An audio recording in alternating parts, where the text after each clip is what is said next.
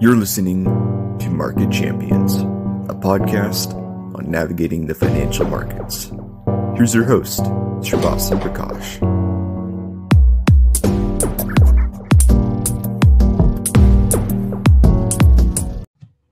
Hey guys, I wanted to take this opportunity to remind you all to like and subscribe. It really helps me to keep getting the best guests onto the podcast. So I really appreciate it if you did. And now onto the video.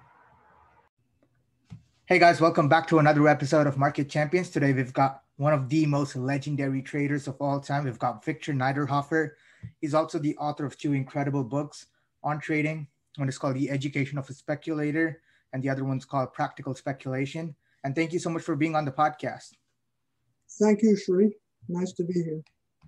Awesome. So I wanted to start off with a little bit about your background. So, you know, for people who might not know who you are, could you just tell us a little bit about your background and your journey uh, on Wall Street?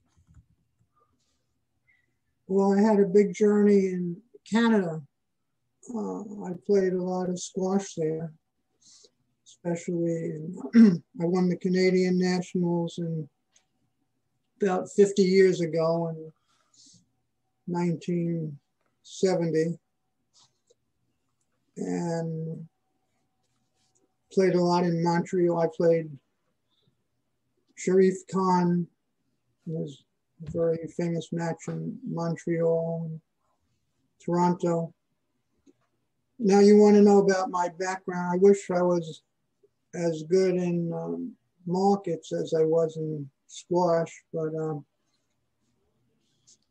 my background in markets started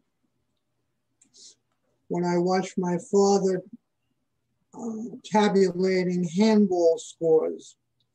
Handball was a big game in Brighton Beach where I was born. And my father wrote a book on handball, one wall handball.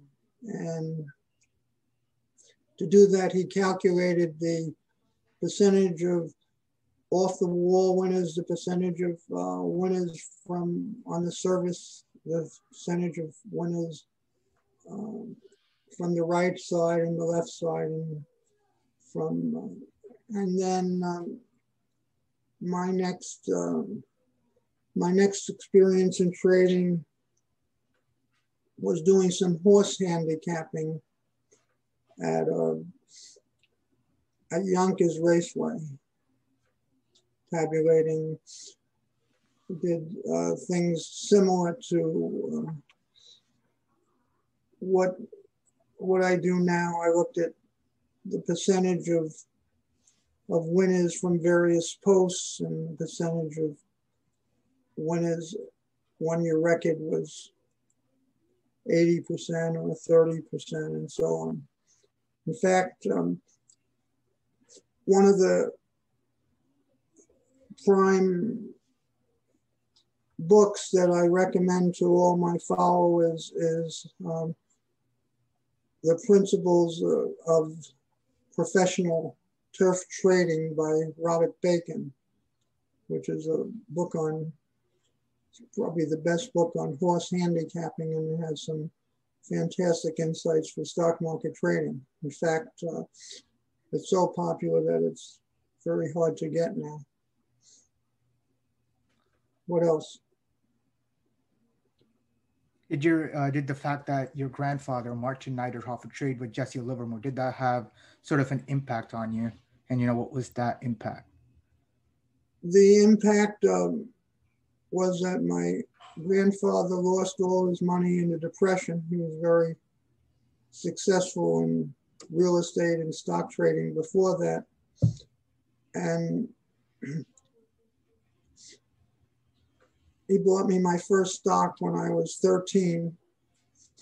It was 100 shares of Bengay, which was the cheapest stock on the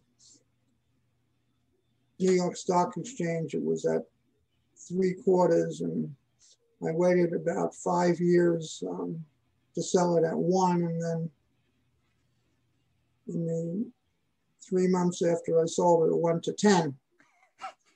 And that's a good lesson that I think people should always assume that a, a stock is going to break through the round number.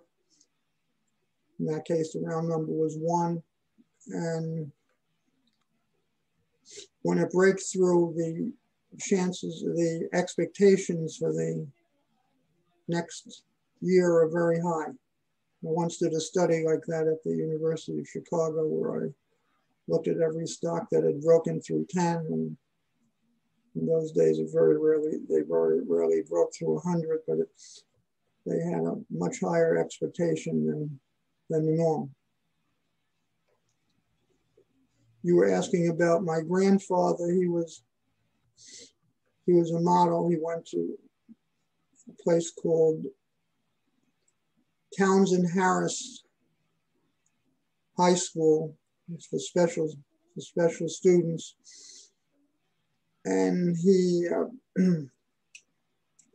he was very able and he became the bookkeeper and treasurer at Irving Berlin's um, music firm.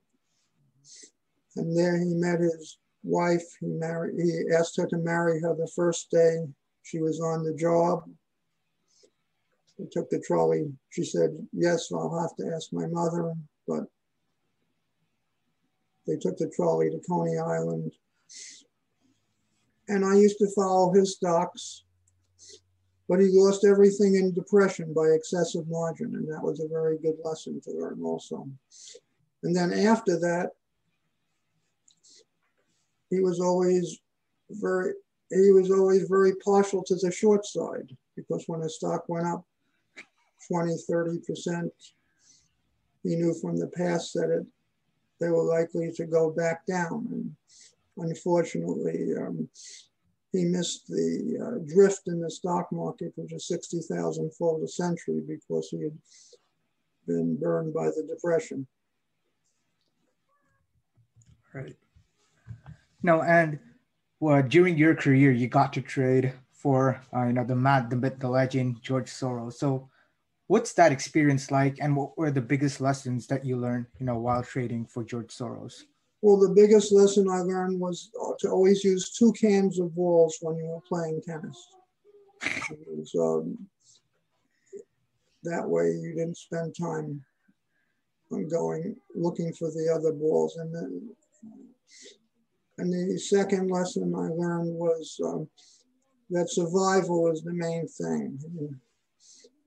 Sometimes I, every, and I learned not to be short. He was always, he always had a negative view of the stocks. And um, it was my job to sometimes wean him away from his um, negative view of the stock market. Let's see, what else did I learn from him? Um, he was a very good host. I spent many summers at the uh, at his Southampton home, and um,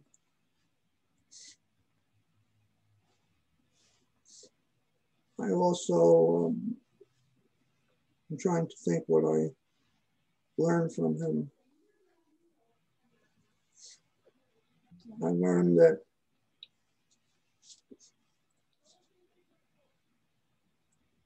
I learned how not to let your political philosophy um, affect the market. We had different views concerning the virtues of capitalism and, and the world state. And um, that's pretty much what I learned from him. Right. And you know, I'm curious. I wanted to get more into the trading side of things. So, you know, I'm curious. Uh, today, uh, a lot of people who use uh, technical analysis, they look at patterns and that kind of stuff. And you know, a lot of the most uh, quantitative guys, like uh, they usually say that this kind of thing cannot be tested. So therefore, you know, you can't really falsify it and you can't really prove it. So I wanted to ask you, what is your view on technical analysis? And sort of the subjective kind of technical analysis, you know, where people sort of look for patterns in the markets? I'm a believe uh, great non-believer. I think a person shouldn't use technical analysis. I think most of it is is um, a fantasia and is not worth not worth the uh, paper it's written on. And it's um, it's um, useless and it's um, epicyclic and it um, is um, very deceptive and it's a snare and a delusion. I think everybody should avoid technical analysis. Right, and you know, the, and the major uh, the major methods are um, malarkey and very very dysfunctional. No, and you know, Soros and Druckenmiller are sort of famous for using technical analysis. So, you know, how did Soros sort of go about testing his technical analysis? You know, is there like any Soros Soros didn't believe in technical analysis. He didn't he didn't believe in testing. He did everything um, based upon um, feel and his ideas concerning um, whether he was ahead or below the mob and whether the basic ideas he had were going to be picked up um, and uh, utilized by the mob and um, how he could um, how he could extend the um, the crowd that followed him. He, he was very good at. He had a great reputation, and when he'd buy something, he'd alert uh, his his group, uh, the main people that followed him, and uh, by the time by the time the 20 institutions that followed him were in it, there'd be an epidemic of, uh, of buying and selling. So he, he, was very good at manipulating um, the crowds to follow him, either buying, selling, get on television when he was he was about to sell. He'd say the market was very bad and he was about to buy. Say the market looked very, good. but he was very rarely did he say that the market looked very good. He was also very, very great at um, utilizing the power of compound interest and uh, uh, and he, he got situated in an advantageous uh, and um, that was that by compounding all of his um, management fees and the um, meager returns that he did make without paying taxes on it, he was able to amass quite a fortune. Right. And, you know, Soros in his book, The Alchemy of Finance, he sort of describes, um, you know, his process for sort of trend following and boom bust cycles. And, you know, you're sort of a counter trend trader. And I believe you described a situation uh, in the education of a speculator where you mentioned that Soros asked you why you weren't exactly following the trend and why you went against it. So, you know, has that, uh, you know, sort of converted you into a trend follower or are you still sort of a counter trend kind of guy? I believe that for individual stocks, uh, the studies of Dimson, Marsh, and Staunton show that um, the stocks that go up the most tend to continue. I believe that um, when the first X months of the year are up, it's more bullish for the market for the rest of the year. But in general, the expectations for the stock market are much greater after a period of decline than a period of rise. Mm-hmm. So I've become more bullish after a period of decline. We haven't had um, such a period of decline um, since March of 2020. Right. But I, I don't um, I don't believe in following trends in, in any other market. I think in general, all the trend followers I know have, have ended up um, losing a fortune in their in their um, funds. And John Henry um, is a typical example. He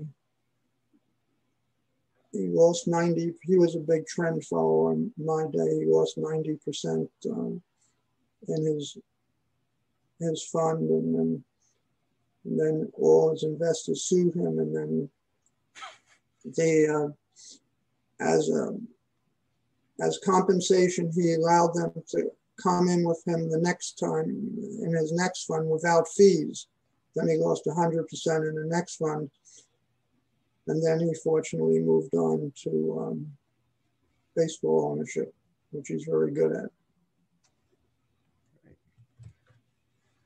so one of the things that and the other the other one I call the lodge man, and he was uh, Dennis, and um, he before he went went under. Um, uh, he had a, a lot of followers. Uh, they called turtles, and all of their methods are um, complete um, book also. And uh, it's the problem with the trends is that you can't test them because you, you lose money most of the time. And then on the few times that you make money, the principle of ever changing cycles comes to um, reverse the um, the wins. In other words, when if it shows that you know one out of ten times you make a thousand percent, the next time it gets in that situation, the market already anticipates that there that people are playing for a thousand percent rise. So then instead of making a thousand percent, you lose 990 percent. Right. You use nine out of 10 times. So all, all those methods are, um, are intuited by the average trader and, and the market moves to levels that make it unprofitable to make the trends. Also, there are tremendous transactions costs on trend following also.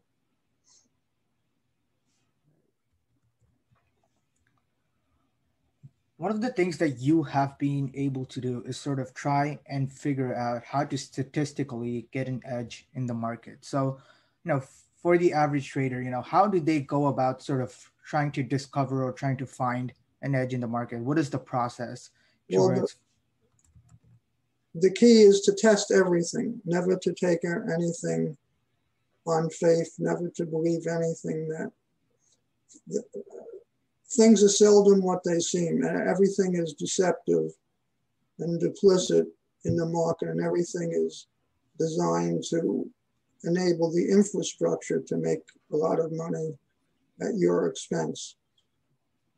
When uh, when I started um, trading since I've only been trading for 60, 60 years actually, which I think is is a record. Uh, Clews wrote a book, um, 50 years in Wall Street, but if I ever wrote a book, it would have to be 65 years in Wall Street. But in any case, since 1970, I've been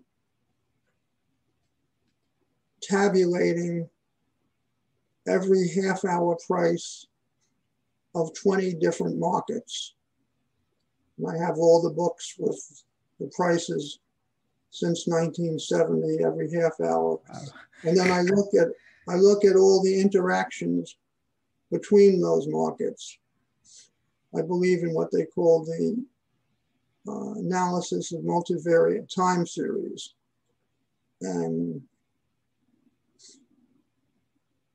the relations between these markets, the leads and and lags um, unfortunately change every day of the week, every hour of the day.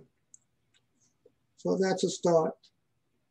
I've had hundreds of of employees and, and partners, and they've all come to me with um, different ideas um, in the market. But somehow, by the time they left and um, took my programs and ideas, they all using the interactions between markets as a predictor. And I think that that is one of the main methods that's used now, thanks to me in predicting uh, stock prices. I know that Renaissance uses um, methods based on that, although they didn't get it from me in that case.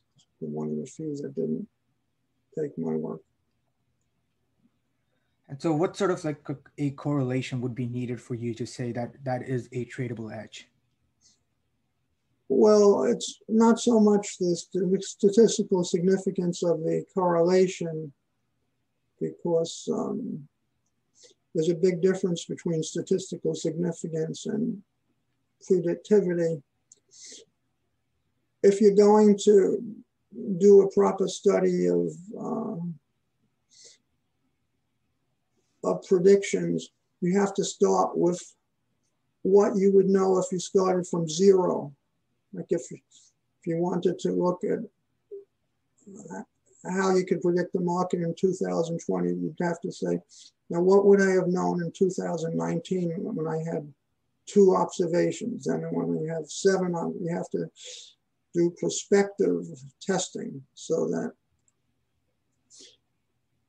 each each um, day you have to update your your work and see what your prediction would have been. And there's a tremendous difference between looking at the end of a period and then calculating what the statistical significance is and what would have what you would have found out if you started six if you tried it after three months and after six months and and so on.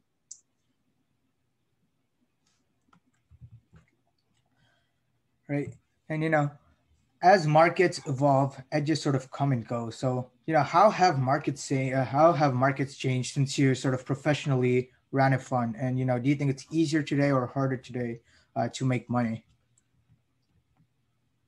Well, the, uh, the rake is probably, um, the rake in and sports betting is five and a half percent.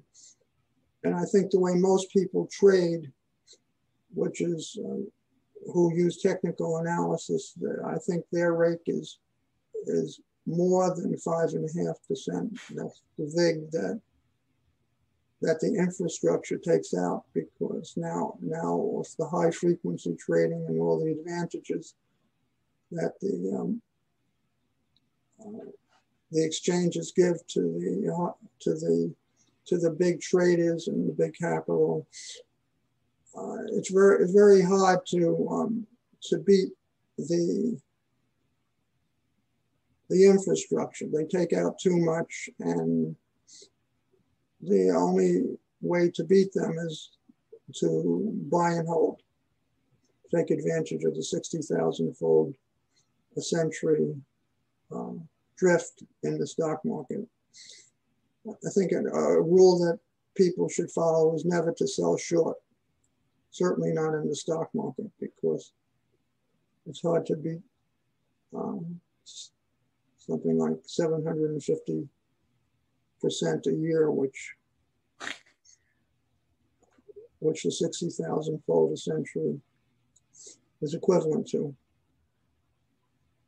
so the, the markets have evolved. Markets have evolved when I started, when my grandfather traded with Jesse Livermore. Um, unfortunately, he he didn't uh, he, he, didn't uh, get the advantage of um, traveling on Jesse's yachts um, to France when when when Jesse went bankrupt. Jesse used to pay a, a commission of five or six percent, and the bid ask spread was another three or four percent. So when by the time he traded, he would be down 10%, and he, he was a very active trader, so he might have turnover three times a week. So it's no wonder that he went bankrupt five times. Um, and then when he tried to sell his methods and it, they didn't work, he committed suicide in, at the Sherry Netherlands Hotel in, in New York. And that's on 63rd Street and Central Park, um, Central Park East. Uh, I, ne I never, whenever I pass that area, I always cross the street. But the brokerage houses used to give him, after he lost 100%, they would fund him again because they knew that he would generate in commissions enough uh, to for them to make back the money that they loaned him. Of course, there was a, loan like the PPP where you didn't have to pay it back. So um, in those days, it was impossible to trade um, any anywhere um, with anything less than a six month holding period. Right. There's, there's some there's some books that the magazine of Wall Street is a, probably the best trading book on on Wall Street. It, was from about 1907 to um, 1940, and it has many methods of trading that worked in those days. One one was to be a specialist in panics. Uh, a big problem is not only the rake and the vig, but it's the fact that the your adversaries generally have much more capital than you, so that if there's a normal fluctuation, they can withstand it. They can, um, but uh, you, you won't have the the capital to withstand the normal fluctuation. So even if they didn't have an edge, you would go bankrupt. Uh, and, and again, um, rapid trading, day trading is something that selling short all these things are, are anathema, should be avoided. Got it. You know, one of the things that you mentioned in the education of a speculator, I believe in the first chapter where you were describing a situation where you were trading the yen and you mentioned the yen and you know, you talk about what happens to the yen when soybeans go up and gold goes down. And now if if you go to sort of you know the average market participant, you know they're probably going to say you know those three things are not related. So could you number one uh, comment on what the relation is, and you know these sort of random correlations, you know, do they really have sort of an edge when it comes to trading? Well, about three days ago, out of 20 markets, all 20 were at all-time highs. The grains were at an all-time high. The meats were at an all-time high. The European markets were at an all-time high. The NASDAQ was at an all-time high. Um, how was the Canadian market? Was that an all-time high also a few days ago? I believe so, yes. so they were all, they were all at all-time. So um, they're all related to each other when um, they they depend upon the amount of animal spirits, the amount of money that's in the system, the amount of um, quantitative easing. And the relations are always there, but they change. They change every every month. If they didn't change, it, people would would follow them, and it, it would be too easy to make money. It's not it's not easy to make money. I've never found it easy.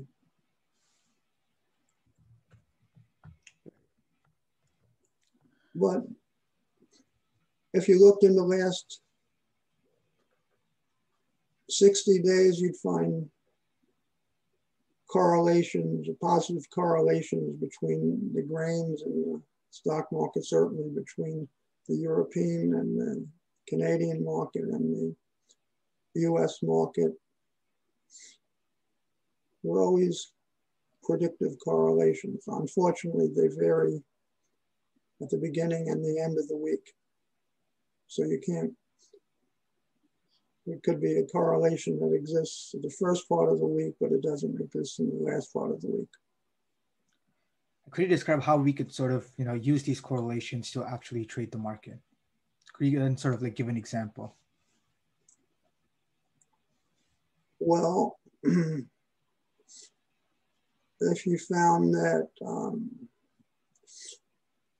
when the uh, Japanese market was down on a, on a Monday, the U.S. stock market tends to go up on a Tuesday um, during the uh, first three months of the year.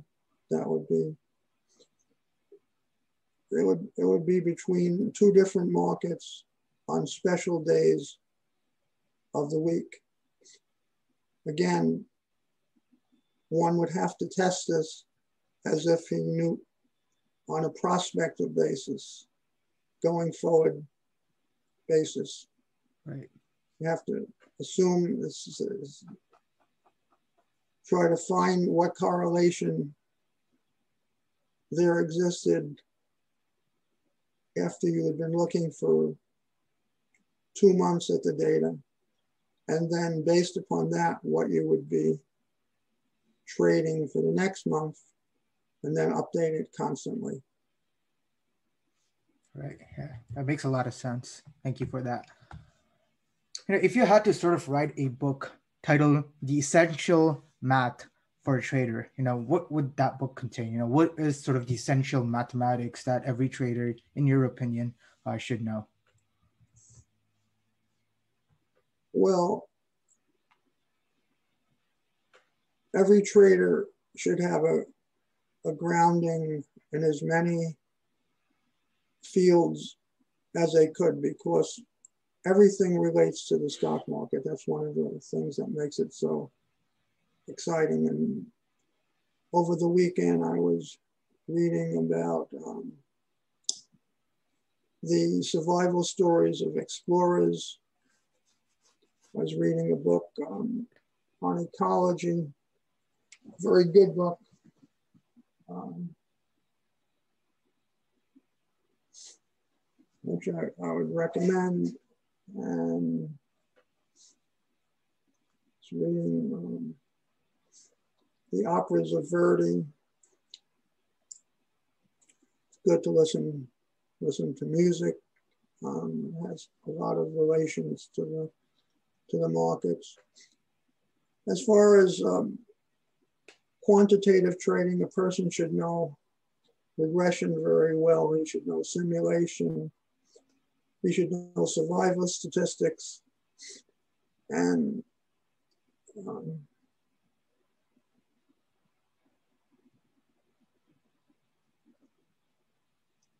those those are really the um, should should be grounded well in time series analysis.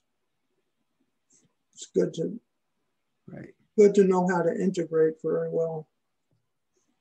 Should um should go over all your exponential integrals because a lot of a lot of them arise in survival statistics and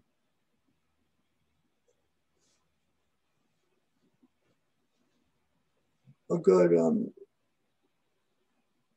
a good book on um, the um, regression bias is very very important also. Not just regression analysis but the um, regression bias tendency for um, what what other books do you think are are important? Um, I, I have um, when Steve Stigler, who's the chairman of the uh, statistics department at the University of Chicago, comes to my house. He always says my library is bigger than his. I have I have every statistics book that has been published um, before 2006, and I'm, I'm always reading them but um, those are the, those are the ones that that are key. It's very simulation is simulation books and and survival. Those are the keys. And do you, when you say simulation, do you mean like Monte Carlo uh, simulations, that kind of thing? Yes, person should have a good program on simulation that they should use the time. A very good thing. When I started out in 1964 in, at the University of Chicago, Harry Roberts had written an article in which he had generated a random series and he had put some levels on it and he dared stock traders to compare his random series with stock market series of the day and no one no one could tell the difference a lot of the uh, a lot of the random series look like they have trends and look like they have patterns but they're random Right. A lot of randomness in the market. But if you never short, if you never day trade, and if you buy and hold, then you'll be with the um, gods. Now, in, in, sort of a recent interview, you mentioned that you would highly recommend a book called The Triumph of the Optimist, but then you would, uh, I believe you said that you would sort of shun a remnant a reminiscences of a stock operator. And uh, did you say that like sort of jokingly, or you know, why well, would you? No, I think that's the worst book for people to read, and it's, of course, it's the most popular. You see, every uh, a, a good thing to to believe is that everything you hear about the stock market is untrue, and it's designed to make you um, give to generate money to the infrastructure, to the to the big traders, people who have have more unlimited funds, and all the all that you read has to be designed to get you to be bearish and um, those those those are the keys. You know, as a statistician, you've tested a lot of you know what goes on. What, what tested everything. yeah. So, uh, you know, what are the most common uh, you know adages or myths in trading that are actually statistically false, but then you know they still keep going around?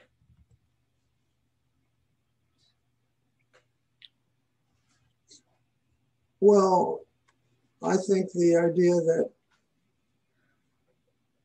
double tops, triple tops, and channels are um, that double top is is bearish and a breakthrough of a channel is a Bollinger Band is um, is bullish and that um, moving averages um, that one I guess the biggest uh, the biggest thing that throws people off is the concept of a correction.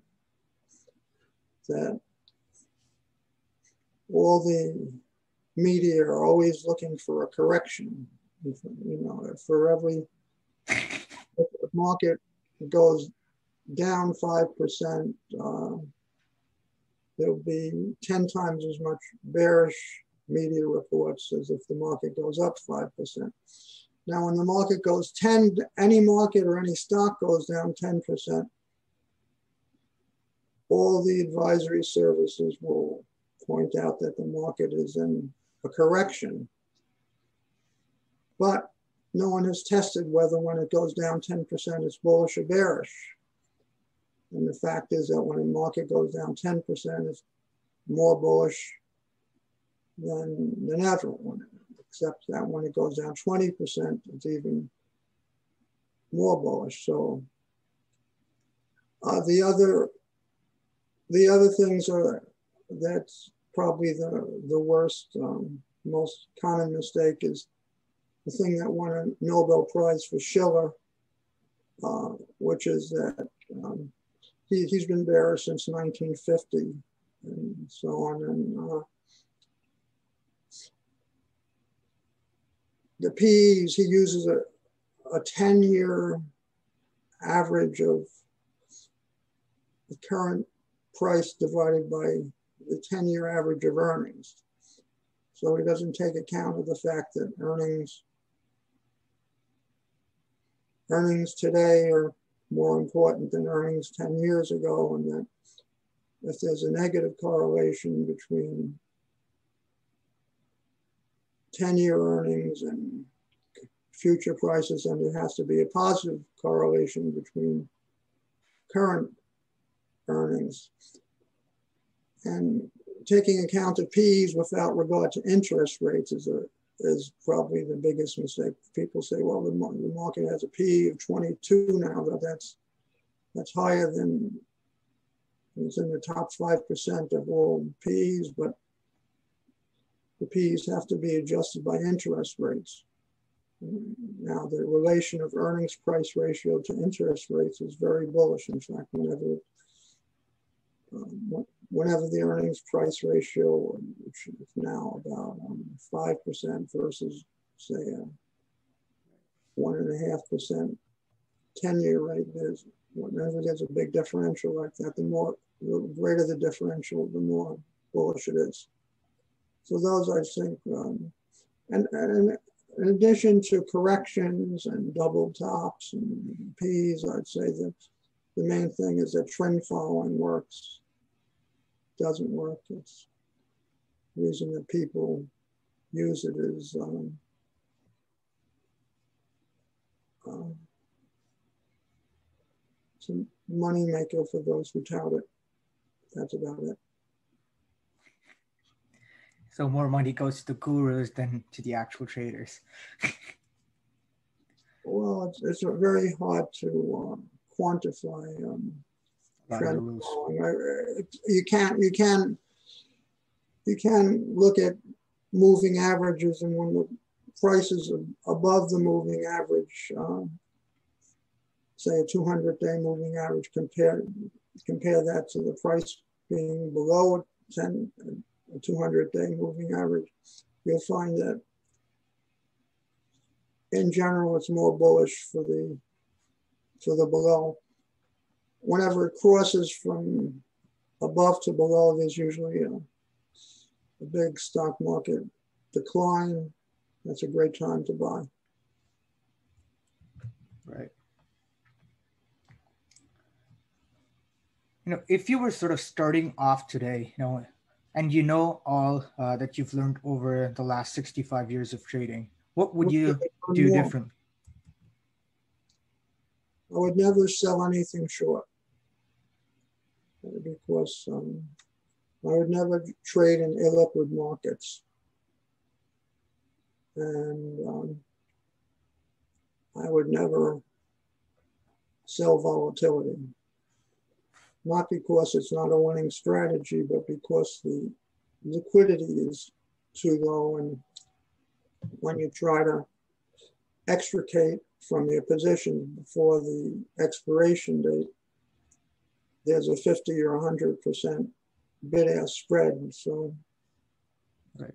you can't extricate unless at the expiration date. And the, uh, the movements are designed to, um, to cause margin calls. And um, there's um, a conspiracy of those who, uh, who make the markets to um, help um, do yourself in. So I would never sell volatility. Haven't sold it for 10 years or so. And um, make you can make money. Um, again, it's a winning strategy and you make money 24 out of 25 months, but then every five or seven years, they they run the volatility up to a ridiculously high level designed to create margin calls. And then your counterpart is, is likely to take the other side of your trade and um, in any case to call, call in your, your margin so that you can make money for 10 years in a row and then you could lose it in, in the next month and then then a week later you'd be back back making money again. So after but never selling short is a good that that covers a lot of things because it's very hard to buy back stock that you that you don't own of course um, um, with the stock markets drift to 60,000 fold uh, a century, you don't, you don't ever want to sell stocks short there. And since the stock market um,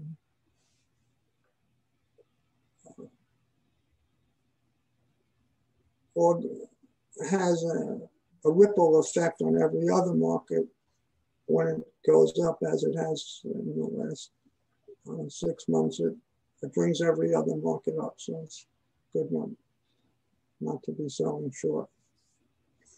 And of course, never sell short in the um, stock market because not only do you have to pay the dividends, but you have to pay money to borrow the stock. So you're paying money when you sell short to, to borrow the stock and um,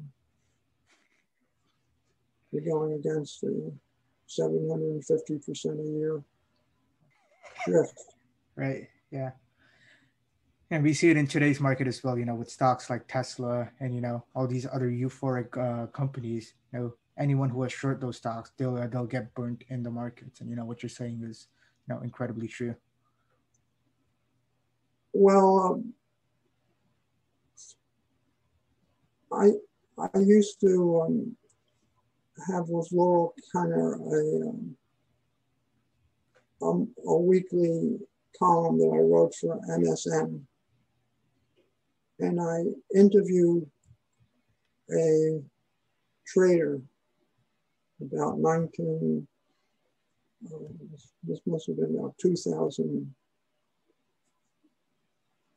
1999. And his technique was to buy the stock that was up the most in a year.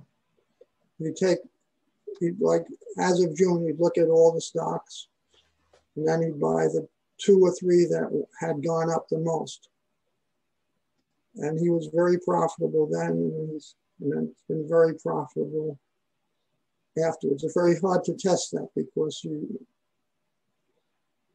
a lot of these stocks uh, weren't at the uh, weren't enumerated at the inception, so that if you look at stocks as of 19 as the beginning of 1990, they, they'd be different from the ones that were were around in, in, the second in the second half of 1990. But in any case, I think that's probably a good strategy. It's it's, a, it's the most intuitive strategy. It's the one that people would say is the worst.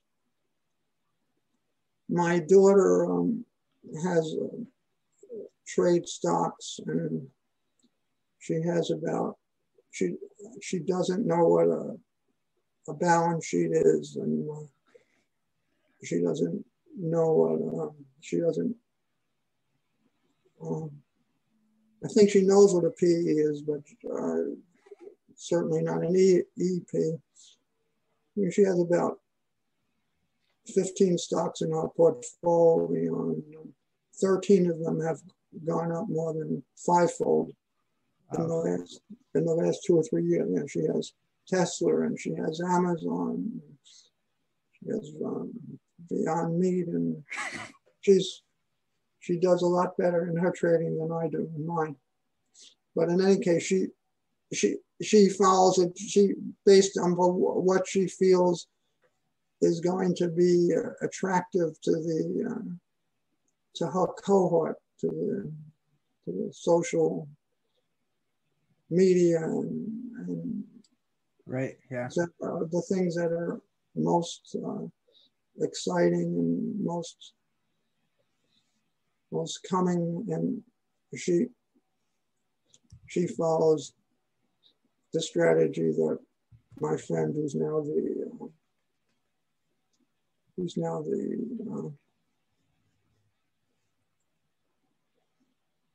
the managing partner or senior director of the North Carolina fund. He's very, he's one of the smartest investors I know. And Jim Lorie, my thesis advisor, also was a buy and hold man. And he, whenever he got a tip, he'd buy the stock. And when he passed away, unfortunately, which um, was a tragedy, still is a tragedy, um, even though it was um, 15 years ago. Um, he followed he followed that strategy of buying the stocks that were up the most. Usually when it got a tip, the stock had already gone up 100%. He'd buy it, and then by the time he sold it 10 years later, it would be up a thousand percent. So that's a very good strategy also, buying the stock. But it has to be tested, but it's very hard to be test to test something like that. I mean, if you use the Bloomberg um, if you use the Bloomberg listing of, of the S&P stocks and they give they give the performance of every stock, every S&P stock for the last X years, but it would be hard to tell. You have to use an S&P as is file. Right. Yeah.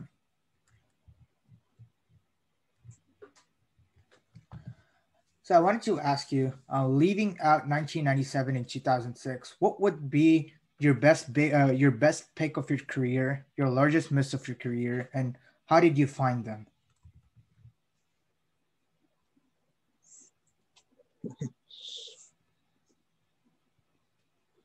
got too many to choose from in terms of wins. They bring back uh, some dismal memories. Um, by um, in those years. Um, but I've I don't recall any of my great trades. I recall of my losing trades. I recall of my losing matches in, in squash. Um, but in in general, um,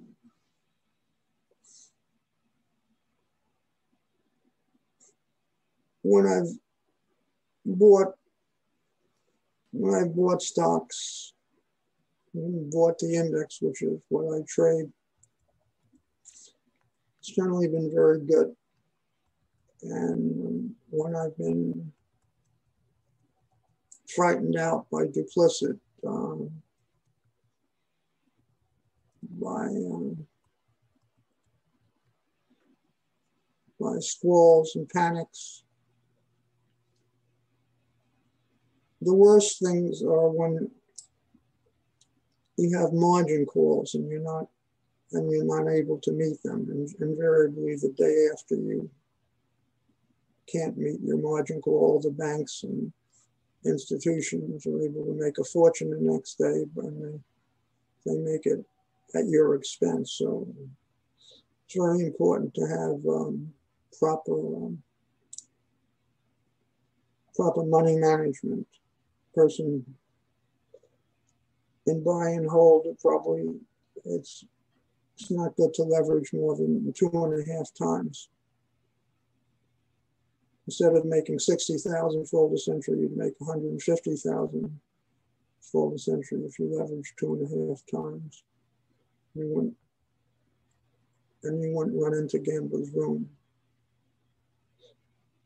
Oh, I had a pretty good run now that I recall. And when I started trading in 1979, um, I, I started out with uh, $100,000 and I ran it up into $20 million in, um, in six months. I, I bought gold and sold, I, believe then the, uh, the Miesian review that um, thing that stock market, uh, excuse me, the gold was the store of store of value that would always always be there and the interests were going to go through the roof. And I made a lot of money then. Of course, I lost it. I lost it um, one day when I was playing racquetball against Ruben Gonzalez. And after the first first game, I, I called my office and I'd lost something like 50% of my my gains. But fortunately, and this is another rule that people should follow, they should quit when they've made a lot of money, not when they've lost a lot of money.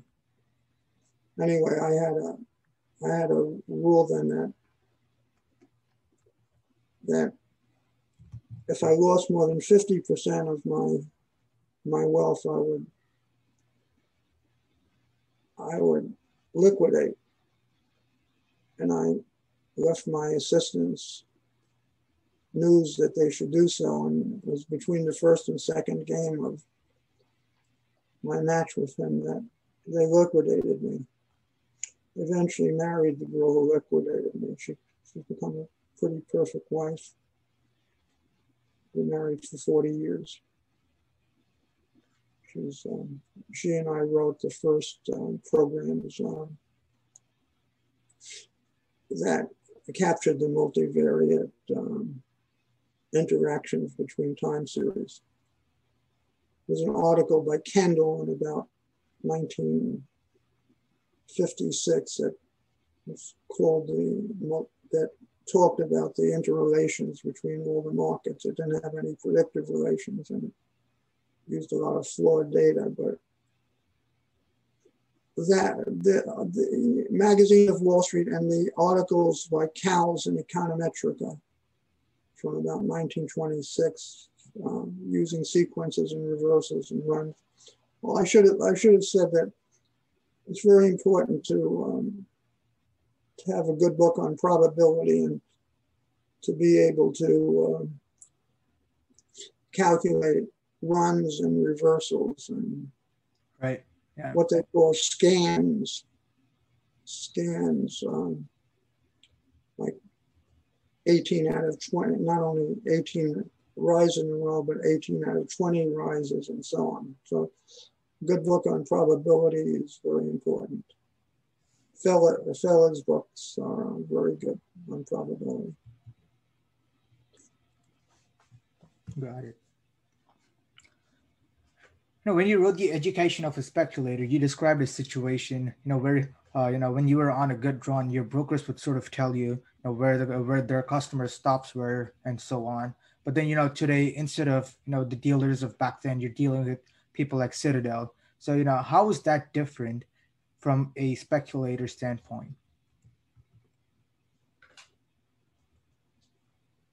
Well, you shouldn't be in a position where stops um, affect you you should should have your money management so that you're not more than two and a half times. Like if you have a million dollars, you shouldn't have more than two and a half million in, in the market.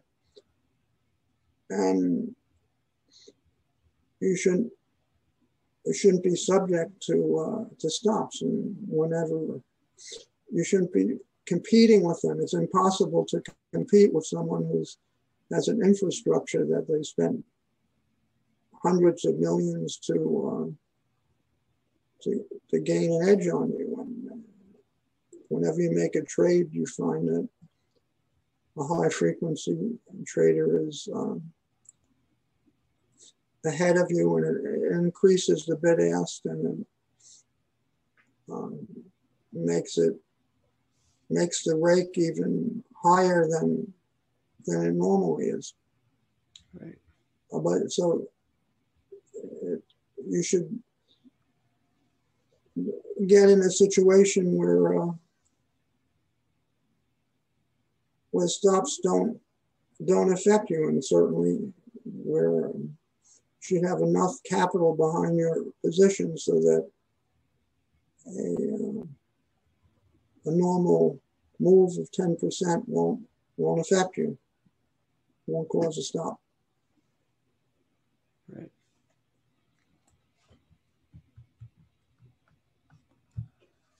So to conclude the podcast, I wanted to ask you now, as a champion squash player, and now as sort of an incredible chess player as well. I'm now, not. I'm not. I'm not an incredible chess player. I'm a good checker player. I think check is a much better training for traders than chess. There, in fact, there are some very good uh, Canadian check checker players, but check is, is is much more like electrical circuits, and it's either up, uh, it's either forward or back, and you can only move one space, and it's very very much similar to the kind of logical thinking that goes into uh, all electronics and computers. And chess, chess is a game that has no relationship to uh, real life, although a lot of the uh, principles of checkers, chess and checkers are, are similar. Like um, the threat is worse than the execution. Right, so. right. And you know, what are the lessons that you can apply from checkers and squash into markets? That's a very good question. That's a very good question.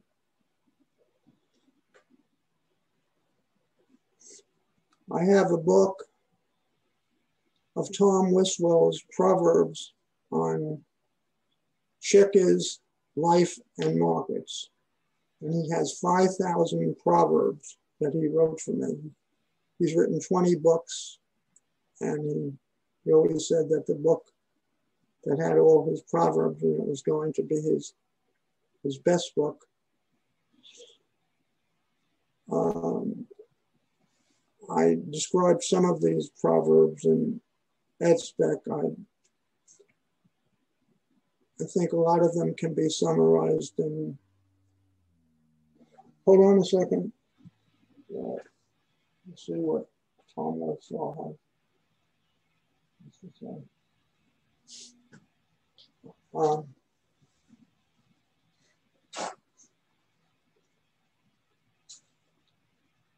he'd say, whenever you think your opponent has made a mistake, remember this proverb of the, of the spider and the fly. And when he, he would also point out that you should never try for a tactical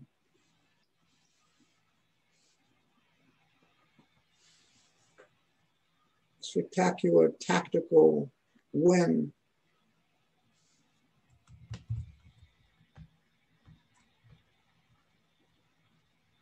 but it, you should try to grind rather than win win with one or two moves. They write everything down. All the good, all the good checker players in those days had manuscripts which they write every game down. Um, say when when you had a loss, think about why you had your loss, write it down, come back again. Um, he'd also say the uh, so when you draw, you both win. Um, a lot of his proverbs could be summarized that everything is duplicit in checkers. And, uh, never never assume that you're a good player when you're playing against a good player that they've made a mistake. There's no such thing as an easy win. And when you go for a, they call, they call in checkers a, a coup or um, when when you can take a three for two or a five for four or something like that. A good player never falls into a trap. And when you think that when you think that the adversary in the market has given you a, an unbeatable situation, that's the time to um, to avoid it the most. Anyway, I, I have to look at my checker book. Um, maybe I'll I'll write write uh, I'll put on my blog um, the 20 best lessons from Tom Wiswell in terms of checkers life and markets. And uh, now as for squash, and as I say, I wish I was as good in markets as I was in squash. And whether I should have been much better in squash, I, I had quite a few defects. One thing I learned in squash is that lessons help a lot. I I probably had more lessons than anyone else in the world. I had lessons in clarinet and piano, and ice skating, and tennis, and, and awesome. And, and uh, but one once or twice a week from the time I was five, and dancing and speech. Uh, so I've learned a lot from every lesson that I've ever taken. And then I found it was very important to prepare for every match, to get there hour or two in advance, to practice. Then I also found it very important to, to practice every day I kept a diary of my playing and published in a book. And for 10 years, I played 365 days a year. Wow. And, that was very important. And I do that a little bit in the market. As I said, I've kept half hourly prices from 1970 to the present of 20, 20 different markets. Um, in in racket sports, I, I was never never really very good in tennis or anything like that. Although I was fairly good in racquetball, I was in the top ten. But never um,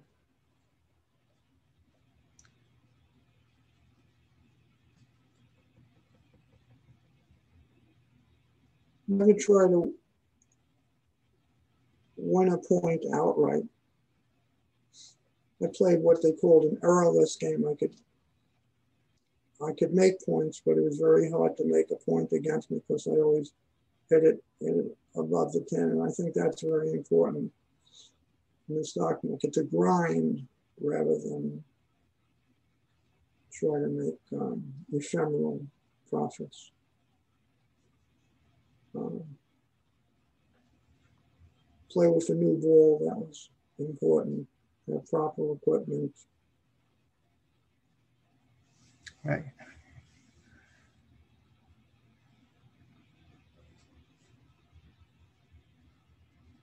see, in closing, if I had some advice, try to summarize what I've seen now, now that I'm 100 years old. I, I don't have to hold back any any uh, things or be afraid of consequences for talking about the infrastructure having a tremendous edge on you and every, everything being designed to um, make the public lose money to the infrastructure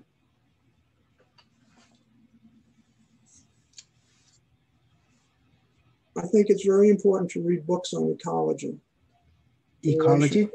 Ecology, yeah, the, the relation, because everything is evolving as you, you were asking me what's, everything's always changing in the market. And it's related to ever-changing cycles. So uh, good, good knowledge of ecology and the relation between the top producers and the, the bottom producers is very important. Don't day trade. Don't don't sell short.